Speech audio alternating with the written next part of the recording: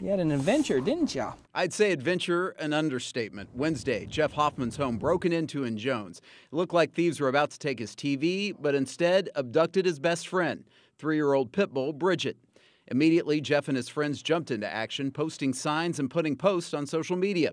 The efforts paid off. 6:30 Sunday morning, Jeff's girlfriend found Bridget on a country road miles from the dog's home. Bridget didn't move a whole lot, but as soon as she saw my girlfriend coming, she started wagging her tail. Bridget taken to an Oklahoma City veterinary clinic, dehydrated with deep cuts on her leg. Jeff said Bridget had her phone number scratched off on her collar and her leash still attached, confirming she had been stolen.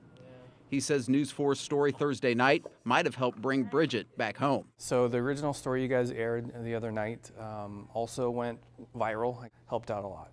So much exposure was out there that I think the criminal that took my dog just couldn't handle the pressure of keeping her, and so in the middle of the night he dumped her off on a rural road. Sunday night, Bridget released from the clinic. It's been a heartwarming experience. Um, people have really been uh, understanding the pain that uh, someone stealing your dog can inflict on a person.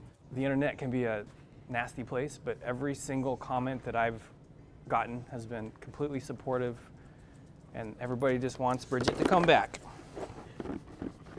Jeez.